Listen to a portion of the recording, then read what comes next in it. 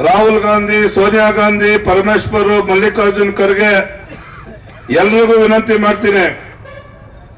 ಸಿದ್ದರಾಮಯ್ಯನವ್ರ ನಾಯಕತ್ವದಲ್ಲಿ ಕಾಂಗ್ರೆಸ್ ಪಕ್ಷ ಐವತ್ತು ಸೀಟ್ ಗೆಳೆಯುತ್ತೆ. ಕಾರಣ ಏನಂದ್ರೆ, ಉದಾಹರಣೆ ಏನಂದ್ರೆ, ಕೋಲಾರದಲ್ಲಿ ಕಾಂಗ್ರೆಸ್ ಪಕ್ಷ ಇಲ್ಲ. ಕಾರ್ಯಕರ್ತರೆಲ್ಲ ತಿಳ್ಕೊಳ್ಳಿ. ಅದರಲ್ಲೂ ಹೆಚ್ಚಾಗಿ ಕುರುಬರು ತಿಳ್ಕೊಳ್ಳಿ, ಕುರುಬರು ತಿಳ್ಕೋಬೇಕು. ಕೋಲಾರದಲ್ಲಿ ಕಾಂಗ್ರೆಸ್ ಇಲ್ಲ.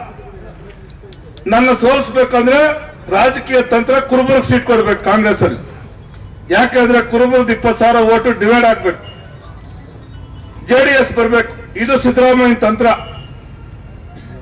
ಕುರುಬರು ಸಿದ್ದರಾಮಯ್ಯನ ಸಿದ್ದರಾಮಯ್ಯನ ಅಂತೇಳಿ ಪ್ರಾಣ ಇಟ್ಕೊಂಡಿದ್ವಿ, ನಾನು ಸೇರಿ. ಇವತ್ತು ಕುರುಬರು ಓಟು ಡಿವೈಡ್ ಆಗ್ಬಿಟ್ಟು ಜನತಾದಳಕ್ಕೆ ಅನುಕೂಲ ಆಗ್ಲಿ, ವರ್ತೂರ್ ಪ್ರಕಾಶ್ ಸೋಲ್ಲಿ ಅಂತೇಳಿ ಯಾರ್ಯಾರಿಗೋ ಕಳಿಸ್ತಾವ್ರೆ, ಅವ್ರು ಬರ್ತಾರೆ. ಹಳ್ಳಿಗಳಿಗೆಲ್ಲ ಓದ್ತಾರೆ ವರ್ತೂರ್ ಪ್ರಕಾಶ್ ಶಕ್ತಿ ಏನಂತ ತಿಳ್ಕೊಂತಾರೆ ಮತ್ತೆ ಅವ್ರು ವಾಪಸ್ ಹೊಟ್ಟೋಗ್ತಾರೆ ಎಂ ಟಿ ಬಿ ನಾಗರಾಜ್ ಮಗನ್ ಬಂದ್ರು ಜೆ ಕೆ ಮನೆ ತಕ್ಕ ಮೀಟಿಂಗ್ ಮಾಡಿದ್ರು ಒಂದ್ ಐದಾರು ಊರಿನಲ್ಲಿ ಓಡಾಡಿದ್ರು.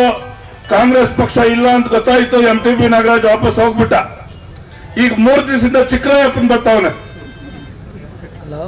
ಚಿನ್ನ ಗೊತ್ತಿಲ್ಲ ಬೆಂಗಳೂರಿನಲ್ಲಿ ಲೂಟಿ ಮಾಡ್ಕೊಂಡಿದ್ದಂತ ಮನುಷ್ಯ. ಜೈಲ್ಗೆ ಹೋಗ್ಬೇಕಾಗಿತ್ತು ಸಿದ್ದರಾಮಯ್ಯನ ಆಶೀರ್ವಾದದಿಂದ ಜೈಲ್ಗೆ ಹೋಗಿಲ್ಲ ಹಗರಣಗಳ ಸರಮಾಲೆಯನ್ನೇ ಒತ್ಕೊಂಡ್ರೆ ನಾವು ಚಿಕ್ಕರಾಯಪ್ಪ. ಸಿದ್ದರಾಮಯ್ಯ ಸಿದ್ದರಾಮಯ್ಯನ ಏಜೆಂಟ್.